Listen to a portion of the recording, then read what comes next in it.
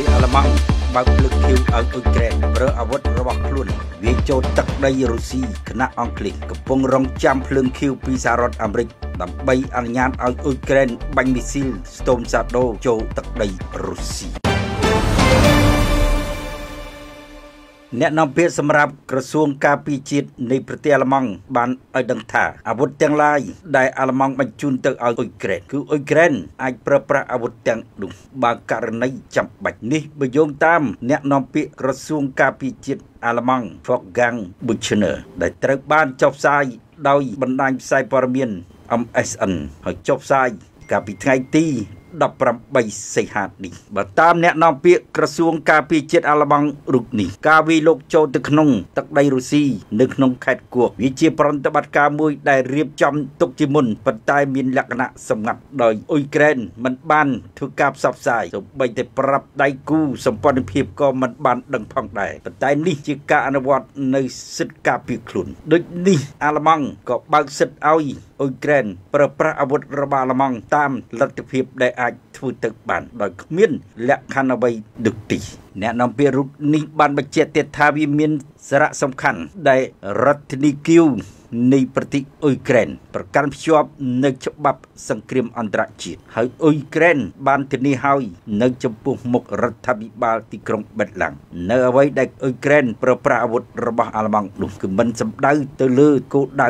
នៃជនស៊ីវិលនោះទេអាល្លឺម៉ង់គ្មានរដ្ឋបတ်អាវុធទាំងអស់របស់អាល្លឺម៉ង់ដែលអ៊ុយក្រែនកំពុងប្រើប្រាស់នោះទេវាជាសិទ្ធិរបស់អ៊ុយក្រែនអ៊ុយក្រែនមានសិទ្ធិធ្វើអ្វីដើម្បីការពារជាតិរបស់ខ្លួនការពារមាតុភូមិរបស់ខ្លួនតែអ្នកនាំពាក្យក្រសួងការពារជាតិអាល្លឺម៉ង់នេះបញ្ជាក់ថាកងទ័ពអាល្លឺម៉ង់មិនជាប់ពាក់ព័ន្ធចំពោះបរិបត្តិការសឹករបស់កងទ័ពអ៊ុយក្រែនដែលវាចូលខេត្តគួកនិងតំបន់ផ្សេងៗទៀតនៅខាងក្នុងទឹកដីរុស្ស៊ីនោះទីអាល្លឺម៉ង់ជាប្រទេសផ្ដល់ជំនួយលំដាប់ទី2បន្ទាប់ពីសហរដ្ឋអាមេរិករថក្រោះ Leopard 1 Leopard 2រាប់រយគ្រឿងសិតតែផលិតនៅ ប្រទេសអាល្លឺម៉ង់អាល្លឺម៉ង់ជំនួយរថក្រោះនេះច្រើនជាងគេទាំងអស់បើធៀបនឹងបណ្ដាប្រទេសដែលផ្ដល់រថក្រោះទៅឲ្យអ៊ុយក្រែនក្រសួងការពារជាតិរុស្ស៊ីថ្មីថ្មីនេះបានប្រកាសថាអាវុធរបស់អាល្លឺម៉ង់ក៏ត្រូវបានកងទ័ពអ៊ុយក្រែនវាយប្រាចូលខាងក្នុងទឹកដីរុស្ស៊ីនៅក្នុងខេត្តគួរផងដែរជាមួយគ្នានេះក្រុមប្រឹក្សាអឺរ៉ុបបានបញ្ជាក់ផងដែរថា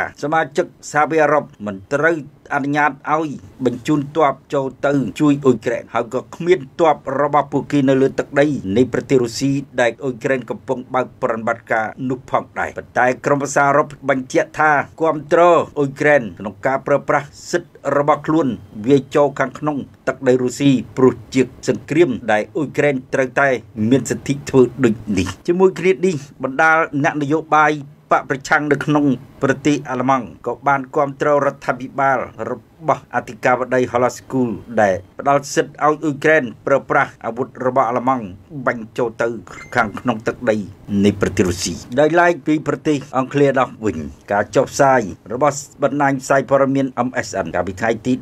18សីហាក៏បានឲ្យដឹងដែរថារដ្ឋាភិបាលចក្រភពអង់គ្លេសបានស្នើសុំរយៈពេល1ខែមកហើយការអនុញ្ញាតពីសហរដ្ឋអាមេរិកដើម្បីឲ្យអង់គ្លេសប្រើប្រាស់មីស៊ីល Storm Shadow ជាមីស៊ីលរយៈចម្ងាយឆ្ងាយរបស់អង់គ្លេសនេះបាញ់ចូលទៅខាងក្នុងនៃទឹកដីរុស្ស៊ីអ៊ុយក្រែនបានដាក់សំណើទៅ ពួកលោកខាងលិចឲ្យអនុញ្ញាតឲ្យអ៊ុយក្រែនប្រើប្រាស់មីស៊ីលរយៈចម្ងាយឆ្ងាយដូចជាមីស៊ីល Storm Shadow មីស៊ីលអតាបជំនួយរបស់សហរដ្ឋអាមេរិករបស់អង់គ្លេសរបស់បារាំងធ្វើយ៉ាងណាមានសិទ្ធិបាញ់ចូលខាងក្នុងនៃទឹកដីរុស្ស៊ីរហូតដល់ពេលនេះពួកបច្ចឹមប្រទេសមិនទាន់ធ្វើសេចក្តីសម្រេចណាមួយជាផ្លូវការនោះទេចំពោះសំណើរបស់រដ្ឋធានីគីវនៅគណៈដែរអ៊ុយក្រែននៅពេលនេះកំពុងតែវាយសន្ធប់ចូលទៅខាងក្នុងទឹកដីនៃប្រទេសរុស្ស៊ីជាការដែលត្រូវវាយបកលើសត្រូវរបស់ខ្លួនរដ្ឋាភិបាលអង់គ្លេសបានប្រាប់សារព័ត៌មាន The Times ថាសំណើដែលបញ្ជូនទៅឲ្យសហរដ្ឋអាមេរិក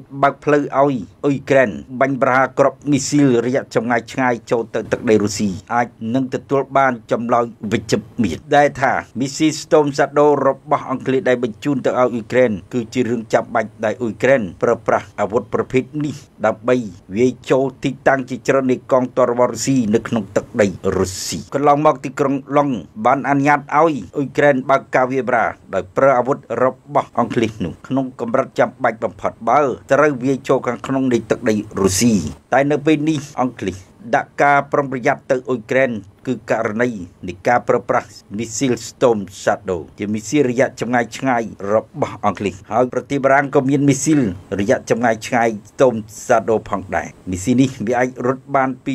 250គីឡូម៉ែត្រទៅ300គីឡូម៉ែត្រមកដល់ពេលនេះអ៊ុយក្រែនពុំទាន់បើកការវាយប្រាដោយបាញ់មីស៊ីល Storm Shadow ឬមីស៊ីលអតាប់ ជំនួយរបស់អាមេរិកចូលខាងក្នុងនៃទឹកដីរុស្ស៊ីនោះទេដែលសមរភូមិកំពុងប្រយុទ្ធយ៉ាងសន្ធោសន្ធៅរវាងទ័ពអ៊ុយក្រែននិងទ័ពរុស្ស៊ីនៅក្នុងខេត្តគួកក្នុងទឹកដីនៃប្រទេសរុស្ស៊ីចំណែកឯសហរដ្ឋអាមេរិកវិញថ្មីថ្មីនេះបានបញ្ជាក់ជាថ្មីម្ដងទៀតទៅកាន់ប្រទេសអ៊ុយក្រែនថាអាមេរិកមិនគាំទ្រឲ្យអ៊ុយក្រែនបាញ់គ្រាប់មីស៊ីលអតាប់របស់អាមេរិកចូលខាងក្នុងទឹកដីរុស្ស៊ីនោះទេបើ ករណីចាំបាច់គឺអនុញ្ញាតឲ្យវាយប្រាត្រឹមតែជាប់ព្រំដែនរុស្ស៊ីនិងអ៊ុយក្រែនតែប៉ុណ្ណោះតែជាមួយគ្នានេះទីក្រុងវ៉ាស៊ីនតោនអនុញ្ញាតឲ្យអ៊ុយក្រែនបើកការវាប្រាដោយបាញ់មីស៊ីលរយៈចម្ងាយឆ្ងាយរបស់អាមេរិកអាតាប់នេះអាចបាញ់លើគោលដៅជាច្រើនបើចាំបាច់នៅជ្រុយអបទិគ្រីបៀ អ្នកនាំពាក្យសម្រាប់ក្រុមប្រឹក្សាសន្តិសុខជាតិសេតវិមានចនកាប៊ីបានថ្លែងថាអ៊ុយក្រែនអាចប្រើប្រាស់មីស៊ីស្តុំសាដូរបស់អាមេរិកបាញ់ចូលជ្រុយអបទិគ្រីបៀបើចាំបាច់នោះអ្នកនាំពាក្យមន្ទីរប៉ងតកូនបានបញ្ជាក់ទៀតថាជ្រុយអបទិគ្រីបៀវាពុំមែនជាដែនដីរបស់រុស្ស៊ីដឹកទីអ៊ុយក្រែនប្រើប្រាស់អាវុធរបស់អាមេរិកបាញ់លើទិសដៅយោធារបស់រុស្ស៊ីនៅគ្រីមៀគឺជារឿងដែលអ៊ុយក្រែន អាចធ្វើទៅបានចំពោះការវាយប្រានៅខាងក្នុងទឹកដីរុស្ស៊ីដែលកំពុងប្រយុទ្ធគ្នា ដែលអ៊ុយក្រែនកំពុងវាយលុកយ៉ាងខ្លាំងនៅក្នុងខេត្តគួកនៃប្រទេសរុស្ស៊ីនេះបើតាម អ្នកនាំពាក្យសម្រាប់មន្ទីរប៉ង់តេហ្គូន Sabrina Singh បានឲ្យដឹងថា ទីក្រុងវ៉ាស៊ីនតោនបារម្ភពីការបញ្ឆេះសង្គ្រាមកាន់តែខ្លាំងក្នុងទឹកដីរុស្ស៊ីដូច្នេះទីក្រុងវ៉ាស៊ីនតោនមានការរឹតបន្តឹងចំពោះការប្រើប្រាស់អាវុធរបស់សហរដ្ឋអាមេរិកគឺមីស៊ីលអាតាប់ឌីតែអ៊ុយក្រែនអាចប្រើប្រាស់ការវាយប្រាបាញ់គ្រាប់មីស៊ីលនេះគឺទៅជ្រុយឧបទ្វីបគ្រីមៀវាជាសិទ្ធិរបស់អ៊ុយក្រែនមកដល់ពេលនេះសង្គ្រាមរុស្ស៊ីនិងអ៊ុយក្រែនប្រយុទ្ធគ្នាក្នុងទឹកដីរបស់រុស្ស៊ីនោះ ដែលជាសង្គ្រាមអ៊ុយក្រែនលើកទ័ពចូលទៅលុកលុយប្រទេសរុស្ស៊ីក្នុងលក្ខខណ្ឌនៃការវាយបកទៅលើប្រទេសមហាអំណាចនេះវាចូលដល់ថ្ងៃ 12ហើយបើរាប់ត្រឹមថ្ងៃ18សីហានោះសេចក្តីរាយការណ៍ជាច្រើនបានដឹងថាកងទ័ពអ៊ុយក្រែននៅតែមានសមត្ថភាពមានឱកាសវាយចូលទីតាំងរបស់កងទ័ពរុស្ស៊ីនៅក្នុងខេត្តគួរប៉ុន្តែក្នុងស្ថានភាពយឺតយឺតដែរហើយបើតាមការបញ្ជាក់របស់អគ្គមេបញ្ជាការកងទ័ពអ៊ុយក្រែនឧត្តមសេនីយ៍អេលីសង់ស៊ីស្គីទីតាំងខ្លះអ៊ុយក្រែន អាចវាយ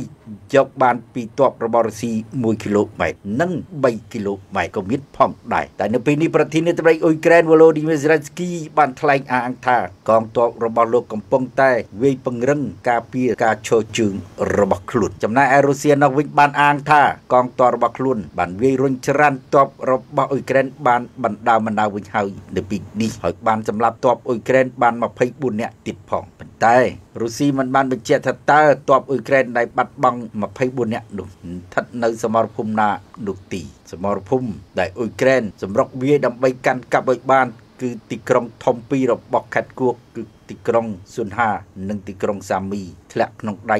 របស់កងទ័ពអ៊ុយក្រែនហើយប្រធានាធិបតីរុស្ស៊ីវ្លាឌីមៀពូទីនបានហៅសកម្មភាពរបស់កងទ័ពអ៊ុយក្រែន បានហៅប្រទេសអ៊ុយក្រែនថាជាជាក្រុមភេរវកម្មដែលបានលើកទ័ពលុកលុយប្រទេសរុស្ស៊ីហើយបានប្រើប្រាស់អាវុធរបស់ពួកបច្ចឹមប្រទេសបាញ់ចំលំនៅឋានសហគមន៍ស៊ីវិលបណ្ដាលឲ្យជនជាតិរុស្ស៊ីស្លាប់និងរបួសជាច្រើនអ្នកមកដល់ពេលនេះជនជាតិរុស្ស៊ីដែល